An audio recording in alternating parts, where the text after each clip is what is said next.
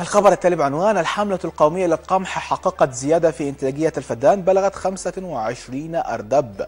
قال الدكتور أسعد حماد رئيس الحملة القومية للنهوض بمحصول القمح قال أن الحملة حققت زيادة ملموسة بالحقول الإرشادية بلغت أكثر من 24 أردب بدلا من 18 بفضل العملات المعاملات الجيدة للاستخدام مشيرا إلى أن تجهيز التربة بشكل جيد وتصفية الليزر تساهم في رفع كفاءة الأرض الزراعية حيث أشار أيضا إلى ضرورة تقليل الفاقد من الخبز وأيضا والنقل والتخزين القمح مشيرا إلى أن الحملة تسعى لتقليل الفجوة بين الإنتاج والاستهلاك. وقال أن وزارة الزراعة واستصلاح الأراضي وضعت خطة طويلة الأجل حتى عام 2030 تستهدف زراعة القمح على المصاطب للتغلب على مشكلة نقص المياه فضلا عن إدخال أصناف جديدة تتطلب سماد أقل.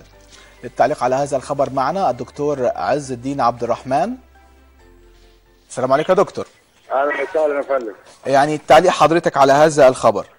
والله حضرتك هو الخبر ده صحيح فعلا. يعني انه النهارده في حقول إرشادية نعم. بت- بتحقق 30 وأكثر من 30 يعني في حقول إرشادية حققت 35 ارداب في حين إن متوسط الجمهورية 18 ارداب الأمل الوحيد يعني من ضمن ال- ال- الأمال الكبيرة لسد الفجوة ما بين الإنتاج والاستهلاك اللي هي رفع تقليل الفجوة ما بين الحقول الإنتاج الفلاحة العادية وحقول الإرشاد. نعم. تخيل حضرتك إن متوسط الجمهورية 18 ارداب 3 مليون فدان أو 3.3 من 10 مليون فدان.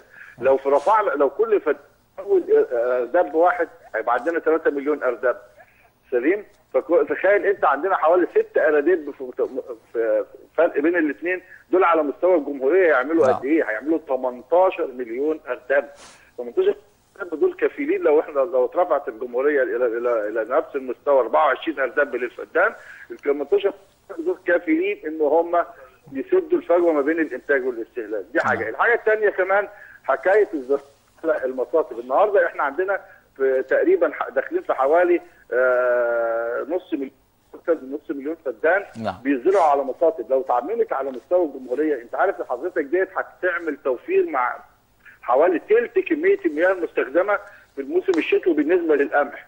تلت كمية المياه. تلت كمية المياه. يعني تخيل في ظل الأزمة اللي إحنا بنعاني منها دلوقتي واخد بالك؟ هت هتعمل قد إيه معانا؟ هنقدر نف... نقدر ن... ن- ن- نفتح مجال جديدة في أرض جديدة ونزرع أرض جديدة. نعم. مشروع المليون فدان ومشروع وغيره وغيره وغيره من الإيه؟ من المشاريع ال- الزراعية دي. وإن نعم. شاء الله على 2030 هو ده ال- ال- ال- الهدف المس- الدولة إن شاء الله نكون قدرنا نوصل لهذا المستوى من الإنتاج ويكون قدرنا نحقق حاجة آه، لمصر إن شاء الله يعني شكرا لك يا فندم وإن شاء الله قبل هذا العام سوف نحقق يا رب الاكتفاء الذاتي بفضل هذه المجهودات بعد ربنا سبحانه وتعالى طبعا وإن شاء الله قادرين أن ننهض بهذا المحصول الاستراتيجي الهام في حال اتباع هذه الخطوات الإرشادية اللي بتنصح بيها وأيضا بتؤكد عليها وزارة الزراعة واستصلاح الأراضي حتى نقلل الفاقد وأيضا ننهض بمحصول القمح بشكل عام. الخبر التالي